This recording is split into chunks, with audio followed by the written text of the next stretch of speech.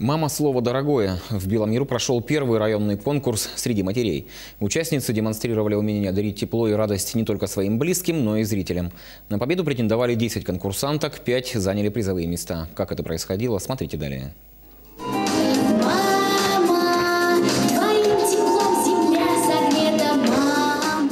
На сцене встречали конкурсанток не кто-нибудь, а их главные критики и помощники. Их любимые сокровища и цветы жизни. Накануне Дня матери в адрес участниц звучали самые теплые слова поздравлений. Этих женщин не просто встречали, в их лице чествовали всех, кто носит гордое звание «мама».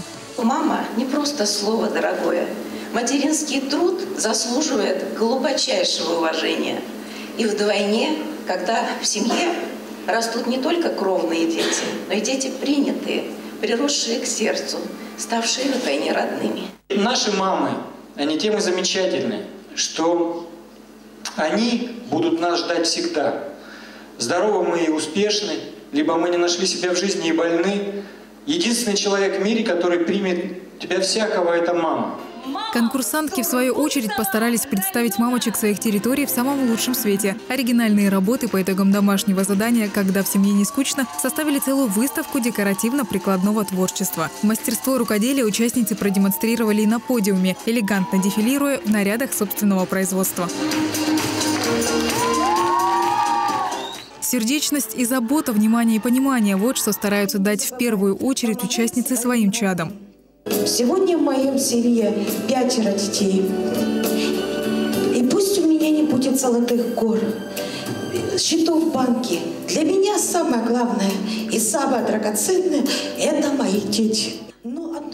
Стихи, танцевальные композиции и песни. Семейное творчество всех участников было своеобразной одой самому родному человеку на земле. Они звучали в этот день на самых разных языках.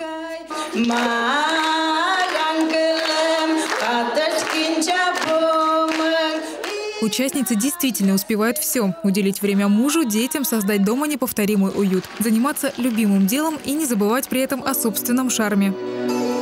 Как все, как все, как все.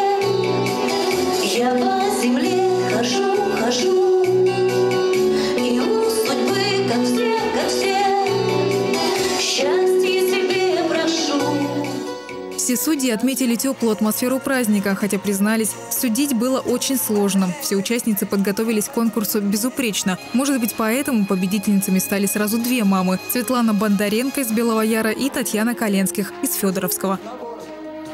Анна Степанова, Яна Сутермина, Дмитрий Самбур, телерадиокомпания «Север».